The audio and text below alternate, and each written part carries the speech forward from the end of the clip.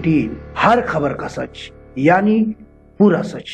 राजनीतिक दुनिया की हर खबरें अपराध पर कस्ता शिकंजा किसने किया भ्रष्टाचार, और कौन है अपराधी, हर खबर यानी पूरा सच। देखना ना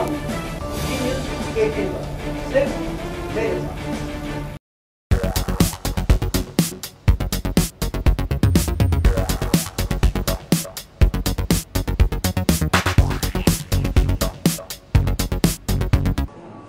जो आज शूट हुई है, मैंने अपना राइट और अपनी कहानी, जीवन की कहानी महबूद भाई और सतीश कुमार को सौंप दी है।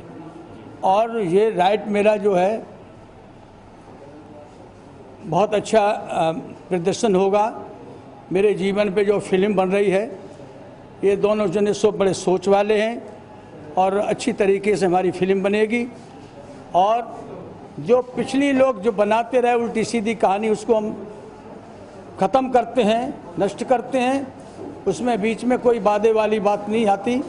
जो अब नई शुरुआत हमारे जीवन की हो रही है और जो नई फ़िल्म हमारे जो बन रही है, वो जनता को दिखाई जाएगी। अच्छे चंबल घाटी पे हर पूरे देश के, पूरे हिंदुस्तान के अंदर जो हमारी फ़िल्म दिखाई जाएगी। और जो एक ही जो फ़िल्म जो है जो मलखान सिंह के नाम से जो फ़िल्म बनेगी, बाकी सम्राट दद्दा मलखान सिंह के नाम पे जो फ़िल्म बनेगी, वो एक ही चम्बल घाटी पे फ़िल्म है, एक ही बागी की जो ऐसी फ़िल्म बनेगी, जिससे कोई दाग नहीं, कोई अन्याय किसी जनता के साथ में नहीं किया है। जो जनता के साथ में अन्याय नहीं करता, जिस आदमी ने मेरे साथ में बगावत की, अन्याय किया, उसके साथ में हमने अन्याय किया। दूसरी बात, पूरे देश की बहन बेटी हमारी बहन बेटी रही और हमारा चंबल घाटी पे रिकॉर्ड रहा। अब ये फ़िल्म जनता को जो दिखाई जाएगी, बड़े पैमाने से दिखाई जाएगी, बहुत अच्छे तरीके से दिखाई दी जाएगी। और मैंने अपनी कहानी, जीवन की कहानी और सतीश जी और महबूद भाई को सौंप दी है और ये उसको संभालेंगे।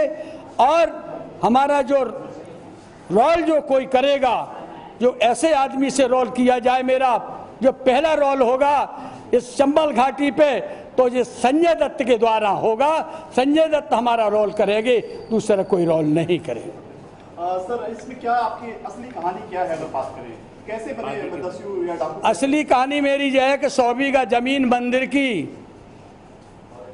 18 साल की उम्र में हम पंचमने गाँव में और मैंने मंदिर के विषय में बात की। कि मंदिर की ज़मीन न मेरी है, न आपकी है। और ये ज़मीन मंदिर से लगा दी जाए। और एक नरसिंह राय दीक्षित भिंड के उसमें गृह मंत्री हुआ करते थे। उनका भतीजा कैलाश नारायण और सरपंच था। बगावत इतनी बढ़ चुकी थी कि अत्याचार इतना सीमा चरण पहुँच चुका था कि गोलियाँ चलवाई हम पे। हमें इनकांड करने के कपड़े पहराए और जेलों में बंद कराए। यातना दिलवाई परिवार को नष्ट किया। सारी चीज़ों से जब हम हताश हो गए, मजबूर हो गए। तब हमने सोचा कि मेरे यहाँ कोई रास्ता नहीं है। जिसको आवेदन देते हैं, वो आवेदन मेरा खारिज कर देता है। क्योंकि पैस- वाले के सामने, राजनीति करने वालों के सामने कोई जादू नहीं चलता। गरीब आदमी का हम किसान के बेटे थे और हमने ज़रूर सच्चाई की लड़ाई लड़ी। मैंने अपने स्वार्थ की लड़ाई नहीं लड़ी। मंदिर के खातर मैंने ज़मीन लड़ाई लड़ाई लड़ी। और वो मिशन, एक सोच वाले, एक मध्य प्रदेश के मुखिया अर्जुन सिंह मुख्यमंत्री थे। उनने मेरी बात को स्वीकार किया और सौबी का ज़मीन मंदिर से, मंदिर के नाम से, राम जानकी के नाम से लगाई और उसका ट्रस्ट है, कलेक्टर भिंड अध्यक्ष है, हम उसके सदस्य हैं और आप खुले उससे मैदान में पूजा हो रही भगवान की। ये हमारा मिशन है। आज एक बागी चम्बल घाटी पे अपनी परेशानी को लेके और धर्म के खातर अपने धर्म से नहीं अटल टला नहीं। अटल रहा और मुझे याद रही, अपने जुर्म जास्ती की याद भूल चुके हैं मंदिर के पीछे कि मुझे कितना भी जुर्म जास्ती मेरे ऊपर हुई होए, हम सब बर्दाश्त कर लेंगे। और कर ली है मैंने, कंकड़ पत्थर और कांटों में मैंने अपना जीवन व्यतीत किया है। जो कोई नहीं कर सकता, वो मैंने जीवन व्यतीत किया है। और इसके उसमें उपरांत जब ज़मीन मंदिर से अर्जुन सिंह ने लगवा दी है तो मैंने समर्पण कर दिया, हमारा मिशन पूरा हो गया। आज हम अपने आराम से किसान के बेटे हैं। सादा गाँव में और घरों में ग्वालियर में कहीं रह रहे हो, और अन्याय के खिलाफ आज भी मेरा खून खोलता है। अन्याय नहीं होने देंगे। हमने महबूद भाई से कहा कि जो मेरा चरित्र है, मेरा रिकॉर्ड है जो रहा है वैसी फ़िल्म हमारी बनना चाहिए। वैसे में कमी नहीं आना चाहिए। हमने कोई गलत काम नहीं किया चाहे यूपी हो चाहे राजस्थान हो चाहे एमपी हो। हमने उसी आदमी को परेशान किया जिसने मुझे परेशान किया है। और जिसने मुझे परेशान नहीं किया उसको मैंने कभी अपने जीवन में परेशान नहीं किया है। सर फ़िल्म का नाम क्या है? आपकी जो फ़िल्म बन रही है। फ़िल्म का नाम क्या रखा है? फ़िल्म का नाम क्या है? Based on true story Malkhan Singh Malkhan Singh. Sir आप इसमें हर किसी की फ़िल्में बनती है बायोग्राफी में संजय संजय की बायोग्राफी बनी है उसमें रणबीर कपूर को लिया गया है। एक पहले ऐसे स्टार हैं जो आप खुद अपनी फ़िल्म में अपना रियल किरदार निभा रहे हैं। इसके बारे में क्या कहना चाहेंगे? किसी और को भी ले सकते थे फ़िल्म? नहीं मैं किसी का विरोध नहीं करना चाहते। नहीं कह रहे हम नहीं विरोध वाली बात नहीं है मेरी इच्छा की बात है। अपनी अपनी इच्छा की बात है। मेरा एक विचार है मेरी इच्छा है अंतिम इच्छा है कि मेरा रोल मेरा जो किया जाए मेरा जो रोल निभाया जाए मलखान सिंह का तो संजय दत्त ही निभाए दूसरा नहीं निभाए। क्या कहना चाहेंगे? मलखान को रियल किरदार में लिया है आपने। जी जी। क्या कहना चाहेंगे मैं असल में आज तक हमने देखे रहेंगे जब भी स्टोरी टेलर होता है आ, जब भी स्टोरी टेलिंग होती है तो हम स्टोरी नरेशन में बैकग्राउंड में वॉइस ओवर में लेते हैं। इस फ़िल्म में हम खुद मलखान जी अपनी स्टोरी कहते हुए नज़र आएँगे। और उससे हम मेन स्टार पे जाकर उसके अदाकारी कितना मुश्किल था आपके लिए स्टा- सरकार इसको दबा भी सकती है कोई ऐसा इशू हाँ, आ बिल- सकता है? वो सारे केसेस पेंडिंग है बिल्कुल। के ऊपर। नहीं, नहीं। अब नहीं है। अब नहीं। कौन कहता भैया? जो है कुछ भी कोई भी अड़ंगा डाल सकता सरकार नहीं क्यों बनाया आपने? हाँ जी नहीं वैसे कोई तो पेंडल में केस- मेरे केस नहीं है पूरे देश के अंदर। कोई केस नहीं है। नहीं नहीं। मैं कोई उग्रवादी नहीं है मैं बागी हैं चंबल घाटी के। जहाँ मेरी लड़ाई थी वही लड़ाई लड़े हैं मैंने पूरा देश को सुन रखा। है मेरे ऊपर कोई पेंडिंग में केस नहीं है कोई थाने में रिपोर्ट नहीं है और मैं डाकू नहीं भागी हैं और बगावत के खिलाफ बंदूक उठाई और अन्याय होगा तो बंदूक उठाने की ज़रूरत नहीं है और जनता द्वारा उसको कुचल दिया जाएगा अन्याय को चाहे कुछ डाकू और बागी में कितना फ़र्क डाकू बागी में श्रीमान बहुत फ़र्क होता है। बगावत के खिलाफ बागी बनना डाकू का शब्द एक बहुत बुरा शब्द होता है। बागी का शब्द एक बहुत बड़ा, अंग्रेज़ों ने लिखा है बागी शब्द, डाकू शब्द नहीं लिखा। एक अलल में किसी से डाकू कहने लगो, जो वास्तव में आज अपने देश के डाकू हैं, उनसे कोई डाकू नहीं कहता। और बाकी में जो इंसान हैं, ईमानदार लोग हैं, उनको बेड में भेज दिया गया है। उनको बुरी तरह से परेशान, उनको डाकू का उसमें खिताब दे दिया है। वो गलत है। डाकू शब्द अब नहीं रहा। डाकू शब्द तो अब पैदा हो चुका है। डाकू शब्द तो उन लोगों के अंदर है, जो भ्रष्टाचार कर रहे हैं अन्याय कर रहे हैं बलात्कार कर रहे हैं बलात्कार करवा रहे हैं। ये उनको डाकू कह सकते हैं बागियों को डाकू नहीं कह सकते। आ, सर जहाँ तक इसमें असली मलखान सिंह है क्या लोकेशन भी असली होगी? बिल्कुल। चंबल की वही घाटियों में आप लेकर जाएँगे शूट करने के लिए? बिल्कुल बिल्कुल असली होगी। असली मलखान सिंह का रोल होगा। हमारी जगह पे अगर भगवान भी होता। घाटी असली होगी? घाटी भी असली होगी। घाटी भी असली होगी मूछ भी असली होगी और मलखान सिंह भी असली होगा। सारी चीज़ें असली होगी और हमारी जगह पे अगर भगवान भी होता तो उसे भी बागी बनने पड़ता। फ़िल्म का पूरा टारगेट क्या रहेगा आपका? कोई दुश्मन है आपका जो मतलब जिसके कारण आप बागी बने? उसमें दिखाया जाएगा फ़िल्म में।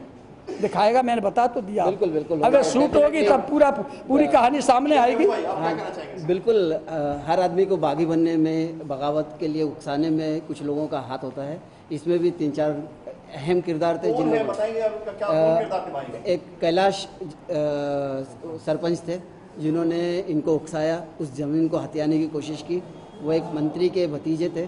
उस मंत्री ने भी पूरे ज़ोर लगा दिया था पूरे दिल्ली से अपना ताकत लगा दी थी उस ज़मीन को हथियाने में। एक पुलिस ऑफिसर था जिसने इनको बिना वजह गिरफ़्तार करके बिना वजह गिरफ़्तार करके उनको इन पे जुल्म किया था और बागी बनने पे मजबूर किया। था तो ऐसे कुछ किरदार है फ़िल्म में जो इस तरीके के नज़र आएँगे। सर आपका परिचय आपका नाम? सतीश कुमार। कुमार। किस तरह की मूवी है रियल उस पर बायोपिक है मलकान सिंह की। कितना मुश्किल था इस पे वर्क करना क्योंकि एक बागी है सरकार नहीं चाहेगी कि ऐसे लोगों को नहीं लाए। लेकिन एक अच्छा आदमी है जो आपके सामने खड़ा है। क्योंकि अब आज की आज रातों रात आदमी पूरा वोट पे लेकर भाग जाता है लेकिन ऐसा कोई केस नहीं है मलखान जी के ऊपर ऐसा कोई देश कोई केस नहीं, है। कोई क्या कहना चाहेंगे इसके बारे में? ये रॉबिन हुड है भाई इन्होंने सब बुराई को ख़त्म करते हुए अच्छाई का साथ दिया। इनके रहते हुए सब जगह शांति रही। वहाँ इतना मुश्किल आपके लिए लोकेशन पे जाकर शुरू करना। नहीं कोई मुश्किल नहीं है जब काम करना है तो करना है। मुश्किल क्या?